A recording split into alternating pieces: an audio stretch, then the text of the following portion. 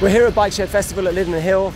Um, we've had a manic day, there's been loads of racing, everyone's had an absolutely brilliant time. And this has really been a day that's all about taking the wrong sort of bike onto a track. Because as far as we're concerned at Bike Shed, everybody who has a motorcycle should at least once get to experience being on a track and being on a race grid and watching those red lights go out and feeling that adrenaline and that thrill but also it's about having a really good time and us putting on a festival event. So me and Dan have commandeered a gator and we'll give you a quick tour. Come on Dan. So Jimbo showed me earlier, he said press some buttons. I think I put it in H and Yeah. then we go. Handbrake. Handbrake, oh handbrake, yeah I've done that. Dan, look at that Kawasaki, it's really nice. When I was about 11, that was all I ever used to do was draw those, well the Z900s on my pencil case. So this is the lower part of, I guess, the retaily, foodie village bit, um, where we've got all sorts of brands selling things and people selling really nice food. Gold Top over there, we've got Eudoxie, Triumph Laguna, coffee places making nice coffee. Uh, Moto Guzzi here, we've got Royal Enfield, and this is one of my favourite parts of the whole of Lydden because this is the dummy grid. Now this is the first bit you line up on. Um, you have your allocated number depending on how fast you were in qualifying and practice. Get yourself set, get yourself in position. When everybody's assembled and the, track is clear, you roll out onto the grid proper for your race. And uh, this is where the adrenaline really starts pumping.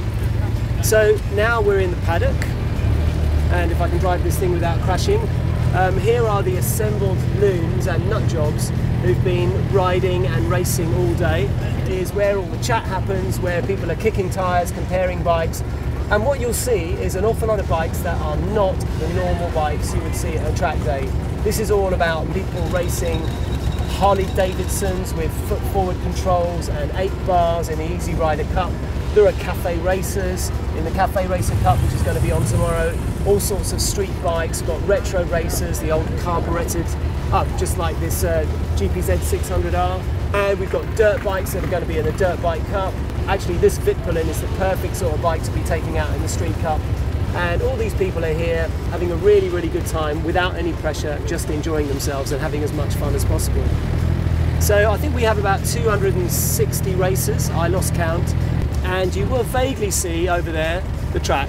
Um, and we'll probably see that when we get up to the top, when we get to near where the Malle boys are doing their trials. But first, more of the village, beautifully liveried vehicles, making sure that Bike Shed is represented.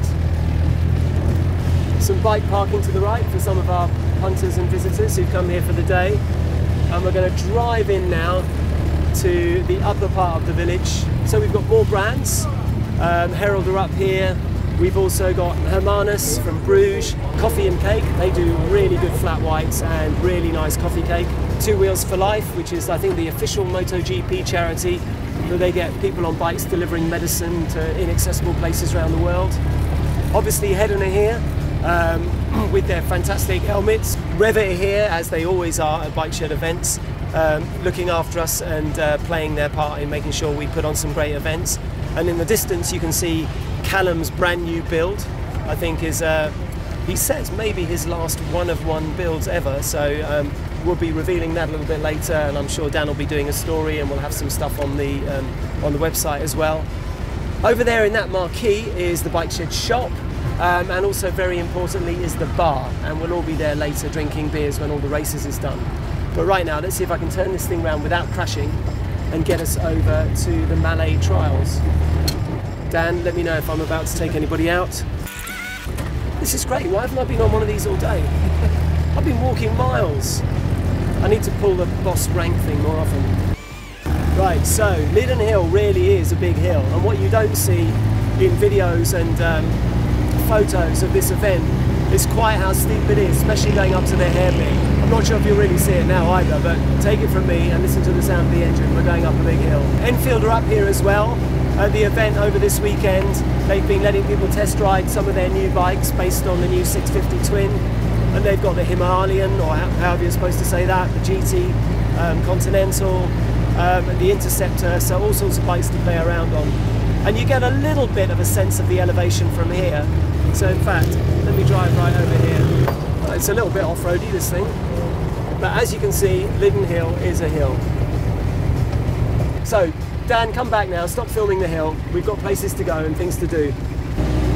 So this is the very top of the course, and uh, hopefully when we get this part, past this point here, you'll see what's going on in the Malle Trials. Lydden Hill's also a dog-friendly circuit, one of the few in the land, which is brilliant. So down there, coming up the side of the hill, the Malle London boys have been kind enough to lend us their talents to bring a little taster of what Malle racing is all about with the Malle trials. And we've got the dash and the cross, and I think that looks like someone's just won the dash on some kind of Suzuki. And uh, and then after that, I think the winners of both get to take part in the derby. But it's all the fantastic loveliness that Malle bring to an event, um, old school vibes. But we'll go round and we'll drive down and get to the bottom of the hill and see what the crowd's doing down there. What you can see from here is the whole of the course. Lydden Hill is basically a big sperm whale shaped track. It's like a backwards Brands Hatch with about 80% the size. It's a really, really easy track to learn, really, really good fun, and uh, a brilliant track for novices. But also, if you're an experienced rider, it's a track you can really get up some good pace, and it's a track that levels the playing field. It doesn't really matter what you're riding. You can be very, very quick here on a 600cc single, as well as on a litre sports bike. So, Malle racing on the hill, and uh, we put up this little marquee where um, Anna from the shop will be on the decks later being top DJ and playing some tunes for the people that want to drink beer and party tonight. And in fact, I'm going to stop here for a minute because this is a great view of the track that we don't normally get. So imagine a big squished rubber band around an L shape, opened up over that right hand corner into a big wide sweeping curve. Um, then there's a, the one proper left um, which I think is called the Devil's Elbow, and then you go up the hill, and there's a really, really tight hairpin at the top. And I've never taken that the same way twice every time I've gone round this track. It's absolutely brilliant. And there are some bikes coming, so I better get on a safe side of the road. Looks like we're going all continental and driving on the wrong side. This is my favourite spot, I think, because this is the middle of the whole of the track and this is where you can see pretty much everything from all angles. The Malle boys have their trendy stretch tent up at the back, which looks like a pyramid. And this is the paddock area. I'm going to pull up here and jump out. Oh, James, I've never seen James running before. Better get that on camera, Dan. Oh no, he stopped. Ah, oh, he was being all athletic. Dan, shall we jump out and take a look? So this is something we wanted to do for ages. We wanted to get the Malle boys here and we wanted them to bring some of their madness and fun and their quirky sense of old school Britishness to the Bike Shed event and we've always seen them as friends in the business and we love what they do. So this is exactly the vibe of the Malle Mile but in miniature. So if you came here without a tent, obviously you need a wingman of the road from Goose and that is their setup. That's uh, my bike. Is that your bike? Brilliant. Dan's bike is the setup for Wingman of the Road. And here is the Bike Shed Club Lounge, um, where all the party action will be happening later tonight. But the most interesting and important bit, apart from the beer over there, is the Malle Trials. So this is what it's all about, bunting, hay bales, dirt bikes, and tearing up the lawn.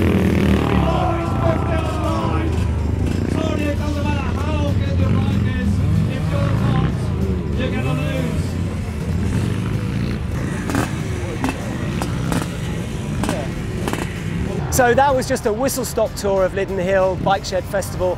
I hope you enjoyed it, but what's most important is Ross doing really cool skids to ruin the take. Yeah, but, how good is this? Oh, this is brilliant. So this is the finale of the of the today's racing. It's the Motley Cup. So these are the fastest 32 riders from all the different classes of racing today, regardless of what sort of bike they're on, whether it's an easy rider, a 125, a street bike, or whatever bike and a retro racer. And really, this sums up what this whole did, event did is I all see about. Hogan in the lead on his bagger?